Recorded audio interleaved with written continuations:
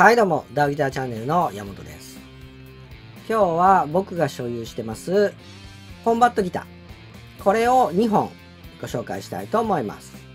では、行ってみましょう。はい、まずはですね、えーコンバットを代表するモデル、ST ウォーム。こちらをご紹介します。もうオーダーしたのは14、5年前になるかと思うんですけれども、えー松原正樹さんが持ってるのを見て、あ、かっこいいなと思って、えーオーダーしました。で、えー一応僕の好みに合わせて作っていただきました。トップはね、えー綺麗なキルテッドメイプルです。ですので、えーソフトメイプルになります。で、バック、ボディバッグはホンジュラスマホガニーのワンピースになってます。これはね、気使ってワンピースにしてくれました。指定はしなかったんですけれども。で、えー、ネック。これもホンジュラスマホガニーですね。えー、ペグですね。ペグの方は、あ五島製のマグナムロックがついてます。で、ブリッジの方も、えー、もともとは五島の510がついてたんですが、えー、コマの方を、これはチタンですね。に変えてあります。で、マイクは、フロントもリアもディマジオの PAF クラシックがついてます。で、ワンボリューム、ワントーン。で、スリーウェイですね。で、タップ切れるようにしてあります。ですので、こうすると、シングルモードに変わります。こだわりのポイントとしては、今も持ってるんですが、ギブソンのヒストリックコレクション ES335 の59年モデル。そのネックに合わせて、ネックの厚みを合わせてもらいました。ですので、結構しっかりした厚みのあるネックに作ってあります。はい、ちょっと生音を聞いてみてください。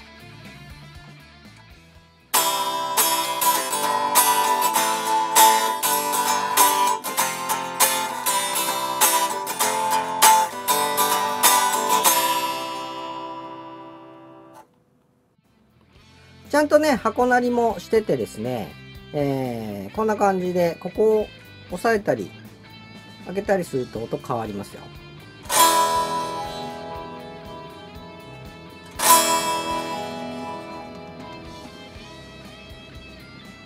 ね、箱なりもしてます。じゃあ、簡単にちょっと音出してみますね。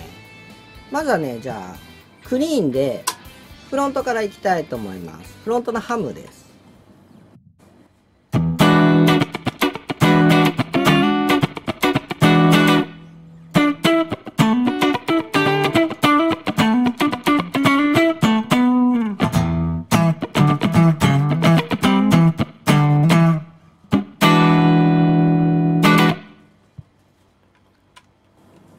センターにします。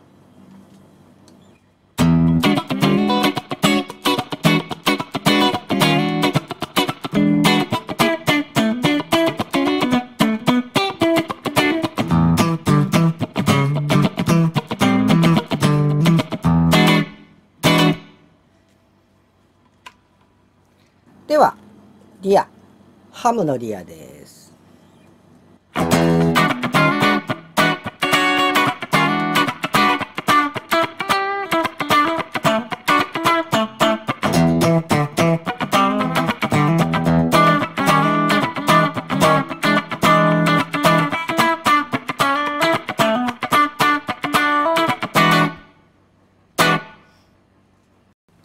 タップ切ってみますね。じゃあ、フロントから。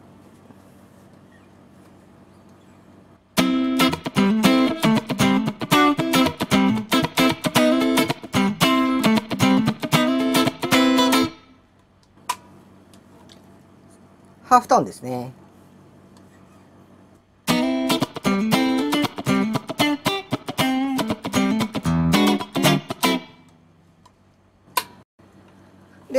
ディアオ。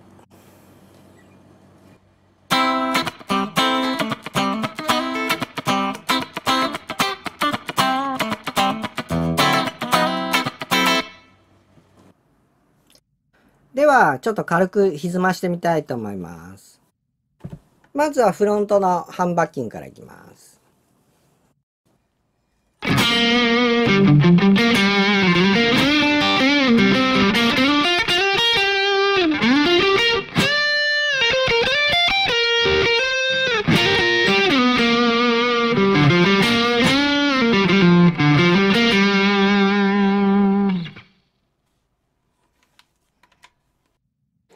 では、センターですね。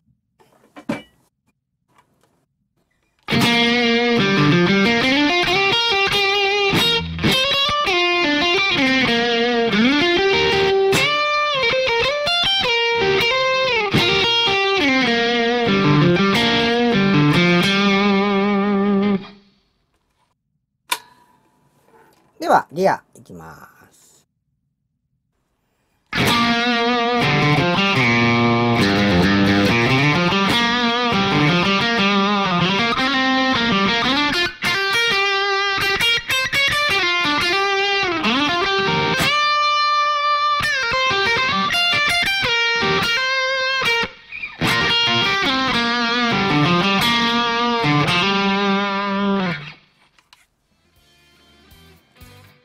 い。では、次にご紹介するのは、こちらのオレンジ色のギター。こちらはですね、ST ウォームのソリッド版という感じですかね。で、作っていただきました。で、えー、こちらもメイプルトップなんですけれども、えー、これ少しフレームの出たメイプルなんですが、こちらはハードメイプルを貼っていただきました。ST ワームの方はソフトメイプルですが、こちらはハードメイプルトップになります。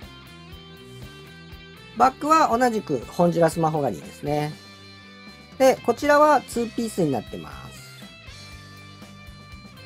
で、ネックも同じくホンジュラスマホガニーです。で、えー、ネックのくっつけ方ですね。これも同じくウォームシリーズのスルーネックに見えるセットネックですね。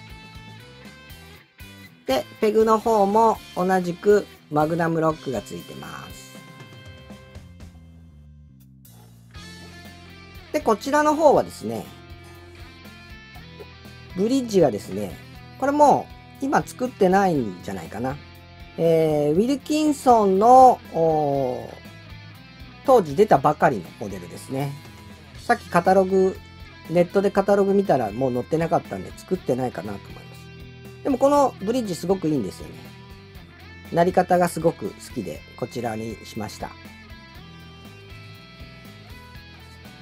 で、こちらマイクは、ハム、シングル、ハムにしてあります。フロントがローラーのインペリアルパフです。で、センターがハーモニックデザインの、えー、シングルタイプなんですが、何をつけたかは覚えてないです。で、リアですね。リアがですね、これが、えー、UB ラボラトリーズさんが弾丸をやっていた頃の銀箱と呼ばれ呼ばれる、えー、ヴィンテージ弾丸の、えー、号泣ベースのアラン・ホールズワースモデルです。で、アラン・ホールズワースモデルって結構 JB ベースだったり、号泣ベースだったり、えー、いくつかあるんですけれども、えー、全く抵抗値が違いますので、えー、多分音は結構違うんじゃないかなと思います。で、こちらは号泣ベースなので、だいたい、え、8キロ前後の抵抗値になると思います。で、ワンボリューム、ワントーン。で、フロントのですね、インペリアル PAF だけタップが切れるようになってます。後ろのハムはそのまま、ハムのまんまです。で、こちらはですね、ナットを、えー、オイル漬けの牛骨にしてもらってます。ST ボーの方はなんか樹脂素材なんですけれども、こちらはオイル漬けの牛骨です。で、ネック形状ですね。ネック形状は、こちらはですね、僕が持ってます、えー、ギブソンヒストリックコレクションの、えー、号泣レスポールの方から採寸していただいて、それに合わせました。で、こっちの方がより太いです。ネックは。もう、なんか、大根のように太いです。ですので、えー、極太ネックになってます。あともう一点ですね、こだわりポイントとしては、こちらの指板のローズですね。これは、えー、ホンジュラスローズ。いわゆる、えー、ニューハカランダと呼ばれるやつですね。で、えっ、ー、と、ニューハカランダ、えー、ホンジュラスローズってタッピングしてみるとわかるんですけど、結構カンカンって、えー、高い音がします。ですので、えー、結構、立ち上がりのいい音がするかなと思います。ですのでね、こっちのギター、まあ、ソリッドってこともあるんですが、えー、ハードメイプルも貼ってますし、えー、ブリッジも違いますし、えー、ホンジュラスローズの指板ということにもあって、結構、えー、立ち上がりの速い感じの音がします。ちょっと生音弾いてみますね。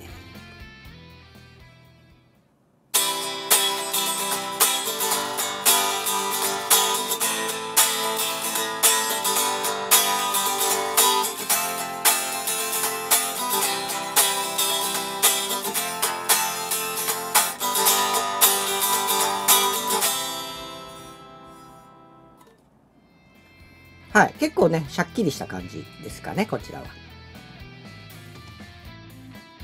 はい。では同じようにですね、クリーンと歪みで軽く引いてみたいと思います。まずはフロントのハムからいきます。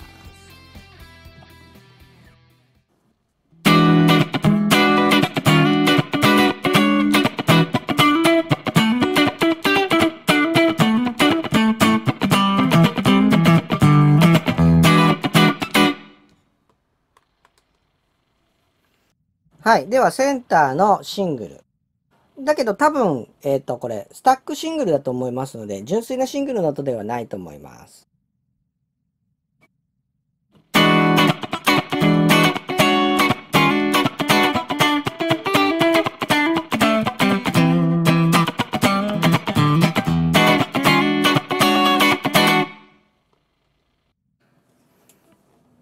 はい。では、リアのハムですね。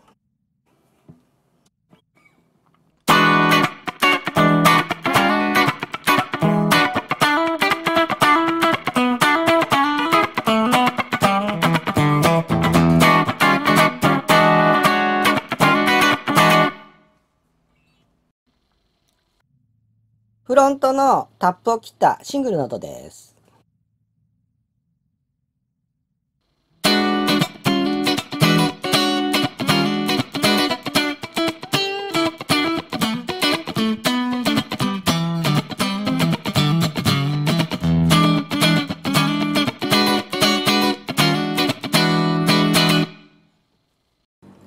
はい。では、軽く歪ました音もやっていきたいと思います。まずは、フロントのハンバッキンから。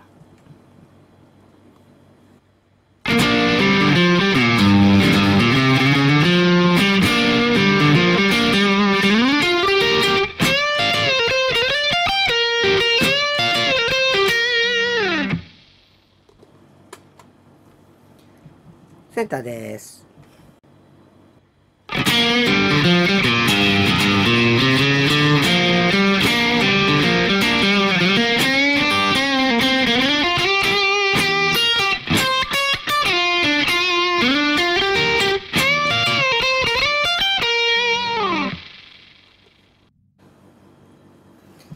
リアのハムです。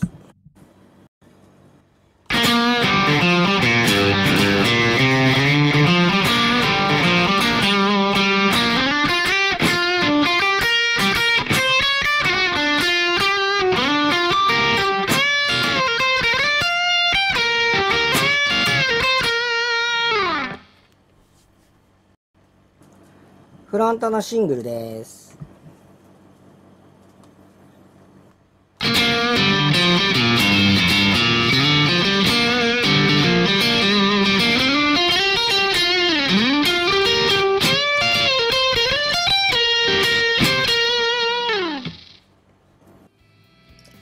はい、いかがだったでしょうか？